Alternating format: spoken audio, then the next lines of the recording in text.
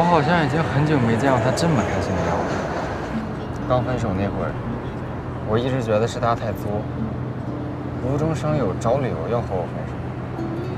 我把导致我们分手的原因都推到了他身上，自己好像一点错都没有。爱情里的两个人就好像同坐一条船，对方一直在努力划桨，而我却一直停滞不前，无动于衷。这样，这条爱情的小船永远只会原地打转。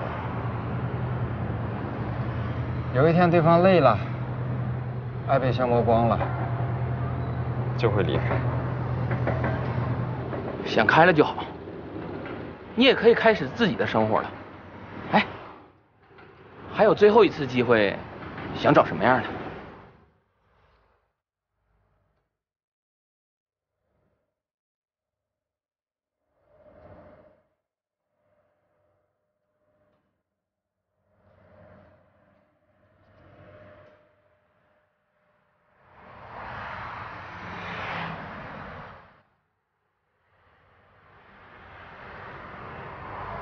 不用了，怎的了？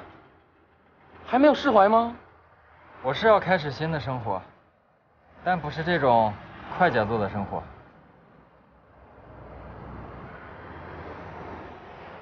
随遇而安，挺好的。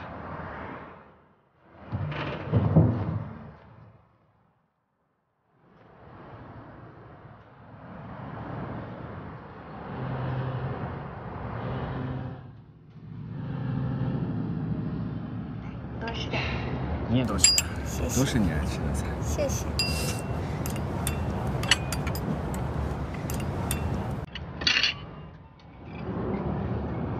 你怎么了？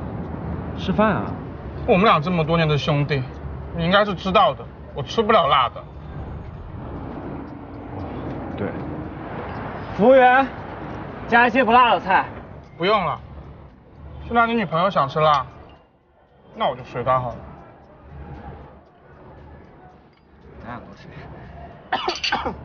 你怎么了？被呛到了，不用管我，你们吃，我咳一会儿就好。服务员，加一些不辣的菜，没听到吗？为什么每次咱俩约会的时候你都带着他呀？我是在和一个组合谈恋爱吗？我知道他不喜欢我，但你是我兄弟，我不想让你为难，我自己走好了。哎，我今天去你家，知道你工作忙，家里面还有我给你包的饺子，切菜的时候还不小心切到了手，不然很有可能会感染，但我自己一个人去医院就好了。这只手。